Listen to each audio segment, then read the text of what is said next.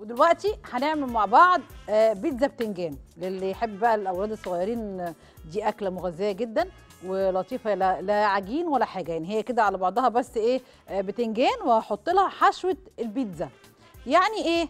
يعني عندي بتنجانة عندي هنا في توم وبصل طماطم فلفل زيتون وجبنة موتزاريلا. تمام؟ عندي بتنجانة كبيرة زي دي حلوة كده.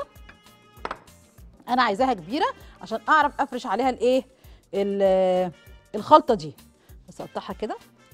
أنا بس ما قطعتهاش عشان اوريكم التقطيع اللي أنا عايزة أقطع بيها. احطها كده على راسها دي كده وأبدأ إن أنا بقشرتها عشان القشرة تمسك الغلاف اللي دي بتخليها ممسوكة من إيه من بره مش لما تتحرق لما نيجي نقليها ونحطها في صينية تبدا تقطع معانا. لا زي ما هي كده. ماشي؟ هناخد بس الحرف ده كده نشيله. نبدأ بقى هنا ناخد بص السمك ده سمك إيه قولي واحد سنتي. كده. واحد سنتي كده. تمام؟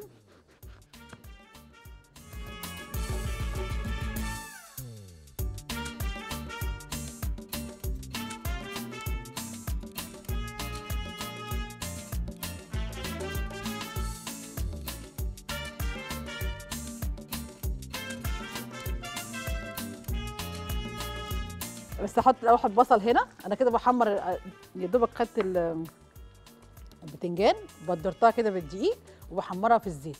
هجيب هنا بصلايه بحبه زيت صغيرين وأبدأ أدبلها. لا ده فعلا بقى حطيت على فكرة هنا برضه توم وفلفل أحط الطماطم. ما دام الأكل بره سهل خلاص بقى. نسهلها كده أكتر. إنما لا والله هو زي ما بقول كده إحنا بس نخلي بالنا من التشجيع. بصوا كده أنا عملت إيه؟ أنا هنا دبلت البصل والثوم والفلفل والطماطم في شوية بصل وملح وفلفل. بس شوية زيت وملح وفلفل. دبلتهم بسيط. اهم كده جاهزين هنا. هنا أنا بقلي البتنجان. بس كده خلاص. بصوا كده اللون ده. كده. وهاخده كده. بس اصفيه شوية من الزيت. احطه هنا كده. باللون ده كده. أنا مقطعاها بالطول كده بالطول ده بتخليها ما تشربش زيت كتير.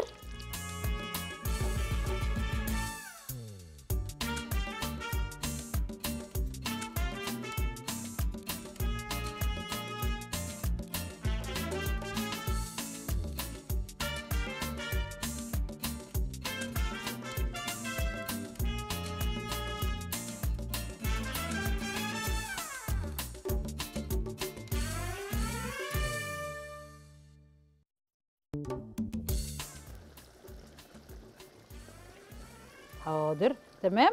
هعمل دي كلها بالطريقة دي وأدخلها الفرن بس كده. تاخد لها قد إيه؟ مش هتاخد ربع ساعة في الفرن ولا 10 دقائق يعني من 10 12 دقيقة كده. آه تسيح الجبنة وخلاص على كده وتكمل تحمير للبتنجان